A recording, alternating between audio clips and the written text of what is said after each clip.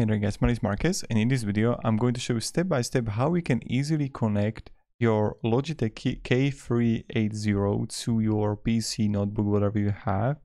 So the first thing that you want to do is just power it on right here on the left and when you're gonna do it, you want to press F1 here for like 3 seconds.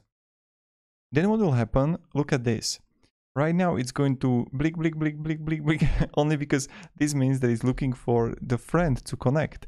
And the friend is right here our PC. So I'm going to right here Bluetooth and you can do it the same thing on your Mac, whatever.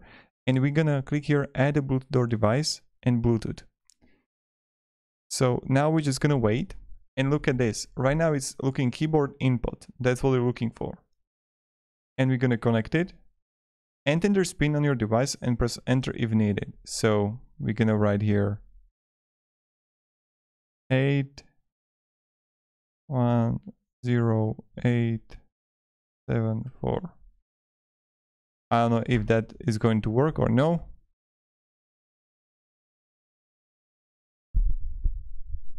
Or we can try like this.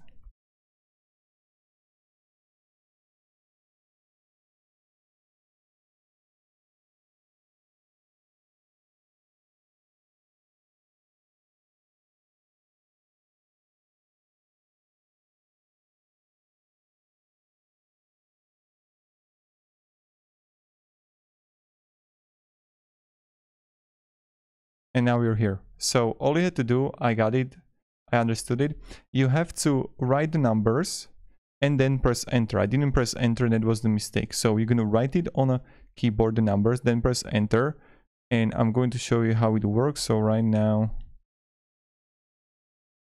I go to notepad right here and look at this, I'm writing and it works. So this is how it's done and now we can connect the Logitech K380 BAM to your notebook or PC.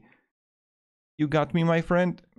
I hope you do. So thank you very much guys for watching. Hope you're gonna great day. I love you all.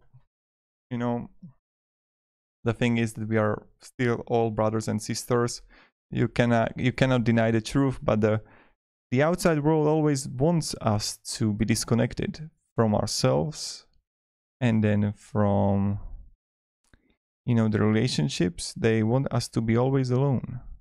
Because when we are alone we are more fragile. We are easier to i would say even like destroy manipulate. But when we are together mamma mia then we are dangerous.